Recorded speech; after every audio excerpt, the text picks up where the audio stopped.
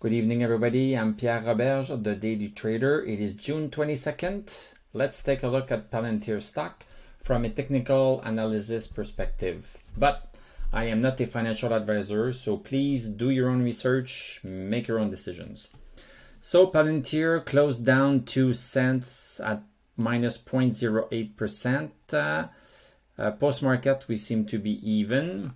So let's look at what this uh, this 2 cents look like on the chart.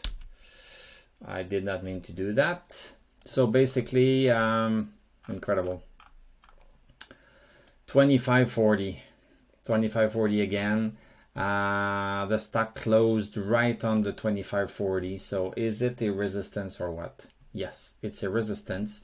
It has been four days, four full days that we have been trying to get out of 2540. Uh, but the stock is not going down. The stock is not going up over 2540, but it's not really going down. Uh, we have a long wick uh, on this candle and we touched uh, the upper support that we had drawn. And uh, so this means also that we have a higher low than yesterday. So that's positive. The stock is going up because no people bought the stock as cheap as yesterday. Because today, the cheapest you could buy the stock was at, uh, let me see, at 24.96. And yesterday, the cheapest you could get it was at, uh, at uh, 24.51. So the value of the stock is moving up, is moving up. So uh, basically, uh, basically, it's still good news. It's still good news. Yes, we are eager to see the stock uh, break out of 24, uh, 25, 40. We are eager to see this, but uh, but the stock the stock is uh, making a higher low, so we cannot complain too much. Let's go to the one-hour chart to see what happened uh, during the day. Look at this. During the day, it's even more it's even more clear that uh, 2540 is a resistance huh? because we've been touching it uh, all throughout the day. So we opened today at uh, 2540, went down to the support, then went up here, did not reach 2540, then we reached it here, boom, and then we caved in, but we touched the support. So we pretty much uh, went sideways and then went sideways a little bit up and then we tried again and we tried, look at this here, we tried from the support to the resistance. So uh, it's incredible. It's incredible. 2540 is really, is really, um, is really a local resistance, but uh, it's still there. And if we look, I just uh, caught a glimpse of the DMI on the on the hourly chart.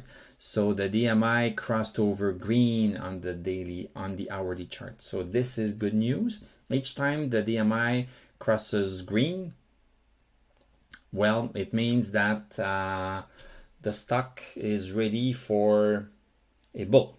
It's gonna go up. It's ready for an uptrend. So on the hourly chart, we see this. So uh, this is giving me uh, good hope for uh, tomorrow. So tomorrow, I think, will be the day we break 2540. But let's not let's not uh, let's not worry too much because uh, you know the stock is still uh, belonging to this channel. This channel is still a good channel. The stock is respecting it so the stock is going up so it's doing everything perfectly. I am just a bit too um, too motivated to see the the stock go to the moon. So uh, but uh, basically i should not complain about this because you know it's going up. It's going up so it's hard to complain. But i still find a way so uh, stochastic wise we are at 89.74 so stochastic is remaining super high that's great. If stochastic would would be dipping under 80 then uh, then uh, we could see a little bit of a pullback uh, and maybe we would break the support that the stock is riding on. But uh, looking at the stochastic like this uh, staying level over 80 so I don't see any sign at all that the stock uh, might be going down soon breaking support. So I think all is good that way. In terms of MACD, uh, we have a double thumbs up, and in, and in terms of the DMI, everything is also good.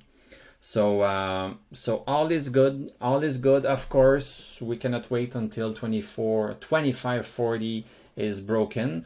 But aside from that, uh, all is good, and let's just sail this into the horizon. So thank you very much for watching. Thank you for subscribing. I publish a Palantir and Tesla video every single day. Thank you for liking, commenting. I read all your comments. Thank you for Discording, Patreoning, and trading viewing with my affiliate link. I'm going to wish you a great evening. We are going to talk tomorrow, and I'm going to tell you à la prochaine.